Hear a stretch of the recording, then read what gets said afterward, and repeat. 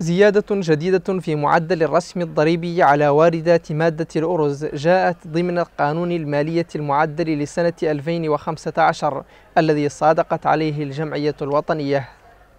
إجراء برره وزير المالية بأنه يأتي في إطار جهود تقوم بها الحكومة الموريتانية لتحقيق الاكتفاء الذاتي من مادة الأرز متحدثا عن إجراءات متخذة لتحسين جودة الأرز الموريتاني. وتشجيع المستهلك المحلي.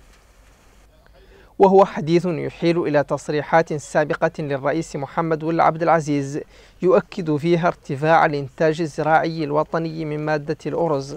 فقد قال ول عبد العزيز خلال خطابه في قمة السلس بالعاصمة المالية باماكو منتصف شهر أبريل الماضي إن الإنتاج المحلي في موريتانيا من مادة الأرز في العام 2014 حقق استجابة تصل 70% من حاجيات السكان بدلا من نسبة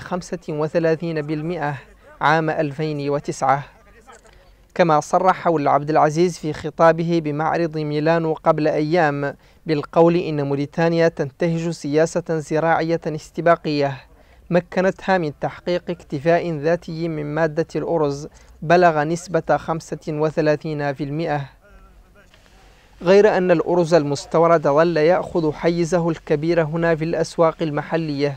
وبحكم فارق الجودة كما يقول البعض فإن الإقبال عليه يبقى واسعا وهو ما يعزز الخشية من تأثير زيادة الرسوم الضريبية الجديدة على واردات الأرز في أسعار هذه المادة التي تعد من بين المواد الأساسية الأكثر استهلاكا في البلاد.